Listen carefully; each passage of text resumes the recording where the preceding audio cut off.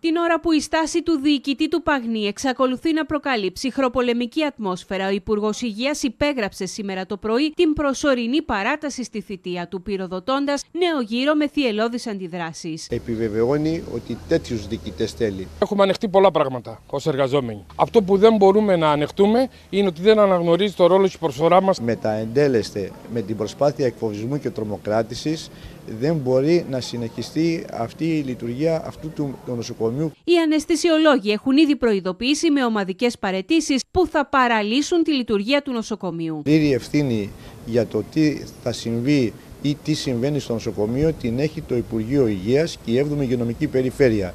Γι' αυτό δεν έπαιρναν θέση σε μια σειρά γεγονότα που το σωματείο μας το έχει καταγγείλει εδώ και πολλά, πολλούς μήνες. Αυτή που εξυπηρέτηση πολιτικής που θέλει τα νοσοκομεία διαλυμένα, ιδιωτικοποιημένα και υποβαθμισμένα χρειάζεται τέτοιες διοικήσεις. Είναι λογικό αυτό. Θα προσπαθούν να τρομοκρατούν, να επιβάλλουν, όχι να κουβεντιάζουν, ούτε να συνεργάζονται. Η θητεία της διοίκησης του Παγνή παρατάθηκε προσωρινά όπως και για όλες τις διοικήσεις των νοσοκομείων της χώρας, όπως προκύπτει από το ΦΕΚ που εκδόθηκε σήμερα το πρωί, παρά το γεγονός ότι ο ίδιος ο Υπουργός Υγείας διεμήνυσε ότι θα εξετάσει με προσοχή τις καταγγελίες και τις οργισμένες διαμαρτυρίες των υγειονομικών φορέων που έχουν φτάσει στα χέρια του. Υπάρχει μια προσωρινή ανανέωση και υπάρχει ένα σκεπτικό στο Υπουργείο ε, όσον αφορά την επανεξέταση των γεγονότων που έχουν συμβεί στο νοσοκομείο μας και στην υγειονομική περιφέρεια. Πράγματα έχουν οδηγηθεί στα άκρα.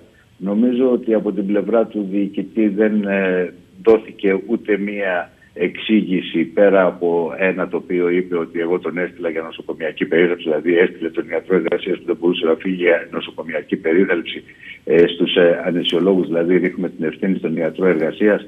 Δεν ακούστηκε ένα συγγνώμη, δεν ακούστηκε ένα έκανα σφάλμα. Οι υψηλοί δείκτες της προσφοράς του Παγνή στη δημόσια υγεία οφείλονται στη φιλότιμη προσπάθεια και την εξοντοτική εργασία που προσφέρουν οι εργαζόμενοι, απαντούν οι συνδικαλιστές του χώρου της υγείας, στη διοίκηση του Παγνή, που μιλά για άκρος επιτυχημένη θητεία. Γιατί όλοι οι εργαζόμενοι έδωσαν παραπάνω από αυτό που μπορούν σε καθημερινή βάση πραγματικά γιατί θέλουμε να παρέχουμε υπηρεσίες υγείας.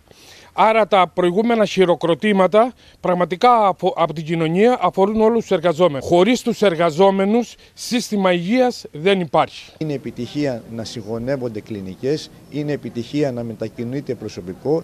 Φαίνεται ότι θεωρείται επιτυχία να ασκείται η μέγιστη δυνατή πίεση στους εργαζόμενους, το να γίνονται ελάστιχο. Αποφασισμένοι να συνεχίσουν τον αγώνα τους εμφανίζονται οι εργαζόμενοι στο Παγνί που προγραμματίζουν από τη Δευτέρα επαναλαμβανόμενες τάσεις εργασίας και συλλαλητήρια. Είναι ζητήματα που θα πρέπει να τα δούμε με σοβαρότητα. Νομίζω πρέπει να υπάρξει ηρεμία.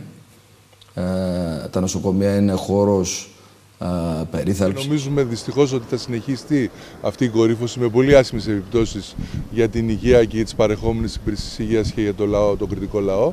Γιατί ακριβώς αυτή που εξυπηρέτηση πολιτικής που θέλει τα νοσοκομεία διαλυμένα, ιδιωτικοποιημένα και υποβαθμισμένα, χρειάζεται τέτοιες διοικήσεις. Για την Τρίτη το απόγευμα έχει προγραμματιστεί και έκτακτη συνάντηση στο Εργατικό Κέντρο Ηρακλείου, στην οποία έχουν κληθεί να μετέχουν όλοι οι φορείς, καθώς όπως επισημαίνουν η λειτουργία της δημόσιας υγείας τεινάζεται συνολικά στον αέρα.